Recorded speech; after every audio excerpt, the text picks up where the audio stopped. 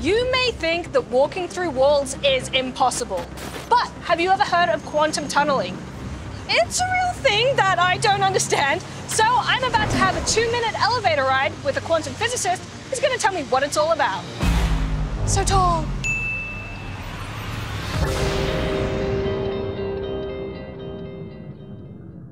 Hi, Chris. Hi. So I've learned a little bit about quantum entanglement before, and it was pretty confusing. Please tell me quantum tunneling is a bit easier. Yes. You've got 45 floors up and down, so let's do it. What is quantum tunneling? Okay, first, I want to give you this. Thank you. If I take that ball and throw it at the wall, what will happen? Bounce back. It'll bounce back. It doesn't have enough energy to go through the wall. I want you to imagine that as a proton. Yeah. So now we're talking about quantum mechanical things. It's not a ball, it's a fuzzy blob of probability, okay? How can something be a probability? Well, what it means is that it's not here or here or here or here, but it could be spread out in the possible locations. And if you wait long enough, you could find it anywhere. What? okay. Sure. All right. So. Okay, so, so a single proton could be anywhere. could be anywhere, but there are more likely places it can be. And these places are vastly more likely. If you take any one proton and you kind of trap it, say within your experimental device, it'll probably stay there forever. But if you did that a billion times, then one time you'll find one that has left. If you think about it as a ball, then there's a barrier that it can't pass. It doesn't have enough energy.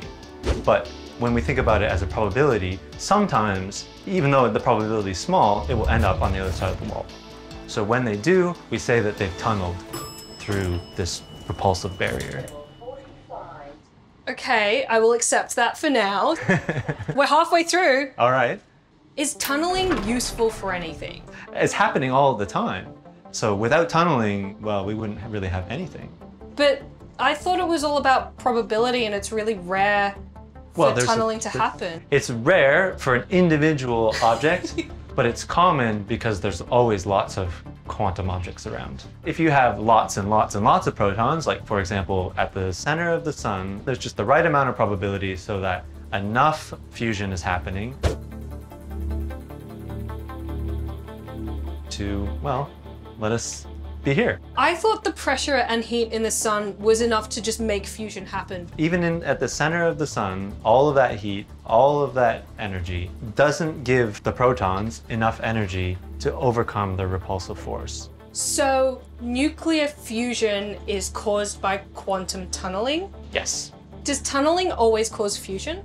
Tunneling generally is just something that we call a quantum explanation for an event that happens due to the like, quantum chance. Once you dig down deep enough and try to find deep enough description of anything, the biological processes in your body, how you smell, how you see. You have a computer in your phone, it has lots of transistors. These are a few nanometers across. If you want to explain it at the level of the individual atoms that are carrying out these reactions, you need quantum mechanics, and those will all be based on tunneling probabilities. On a scale of 1 to 10, how much do we as a human race understand about quantum tunneling? Uh, I would say we've tunneled through 10. We're, uh, we're at 11. Really? Okay. Our entire modern world is, is based on our understanding of quantum. All right. Well, I have some thinking to do. Thanks, Chris. You're welcome. And thanks for my proton. My proton. You know, every time we talk quantum physics, it's really confusing. But thankfully, I had Chris to walk me through it. Okay, so there are quantum particles everywhere, and they exist in this realm of probability.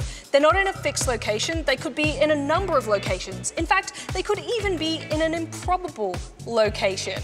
They can be in locations that they don't have the energy to be in. For example, protons overcoming electromagnetic repulsion to come together in nuclear fusion. They shouldn't be able to do that. Traditional physics can't explain it. And that's where we use the term quantum tunneling. But funnily enough, as improbable as it is, it's actually happening everywhere, inside our own bodies, in our smartphone, even in the sun. Now, I am still a little bit fuzzy on the details though, just like a quantum particle. Hey, thanks for watching. If you're curious about our universe, then you are gonna love our documentary series Catalyst. We'll put more details down below, or you can click here for some shorts. And don't forget to subscribe to this channel for more videos. See ya!